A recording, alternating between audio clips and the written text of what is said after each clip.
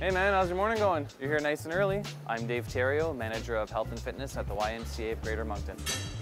The uh, cardio machines has CTV running. People are always getting caught up to date on uh, things early in the morning when they come in. Here, here, here, and here. It's on every machine.